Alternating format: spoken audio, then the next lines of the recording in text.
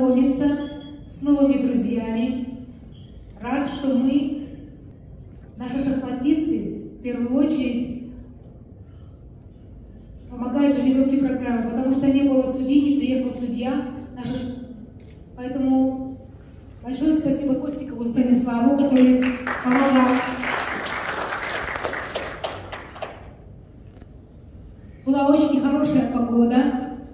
Мы с удовольствием отдохнули, плавали, кормили нас великолепно. Все было прекрасно.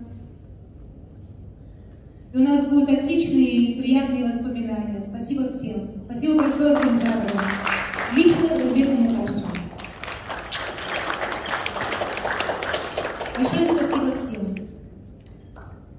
Надеемся на новые встречи.